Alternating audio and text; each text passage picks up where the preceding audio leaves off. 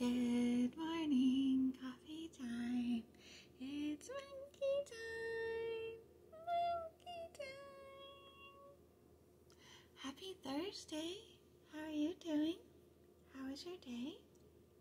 What's our happiness action? Notice the things you do well, however small. Oh, that's pretty good. Okay, so I make interesting coffee pretty well. That's a small thing. Um, I make people smile sometimes. Uh, what do you guys do that you do well? Love you guys.